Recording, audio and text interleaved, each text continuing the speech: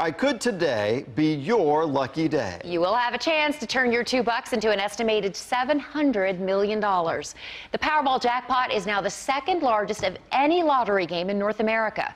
The cash payout would be some $443.3 million, but the odds of winning are 1 in 292.2 million. The drawing happens at about 10 tonight.